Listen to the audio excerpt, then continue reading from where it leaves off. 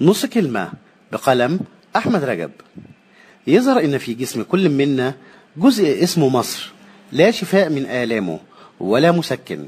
هذا الجزء يضاف إليه عند الفنان مصطفى حسين ساقه العاجزة عن الحركة وتحتاج إلى علاج في الخارج. والساق اليسرى عندي المصابة بالعجز عن المشي ويعالجها دكتور حسام الإبراشي. ومع أفراح مصر من يومين خفت عنا الآلام فأوجاع مصر لا مسكن لها ولا بنج. أما أوجاعنا يمكن احتمالها وتحويلها إلى رسوم وضحكات.